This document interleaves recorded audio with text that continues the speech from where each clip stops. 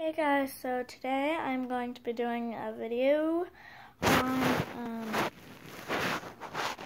this and um, normal squishies, seeing all the differences between squishmallows, Squeezamals, and then and normal squishies. So let me just teleport a squishy and I I really need the camera to stay.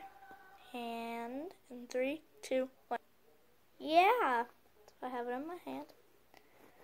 I do think that this is way more slow rising.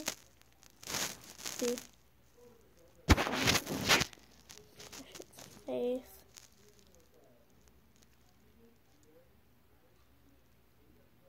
And then this, squish. See, it's already done.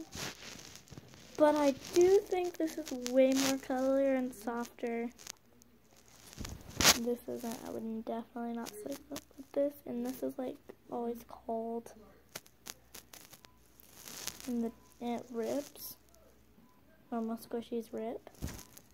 These don't rip unless you like, you can sew these. But if you were to sew these, these would be like weird if you were to sew these. So video is not that long. I really want to make it longer, but I don't think I really can. But I do really think that this is more adorable than this.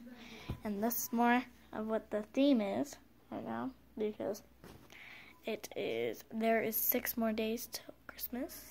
I can't wait.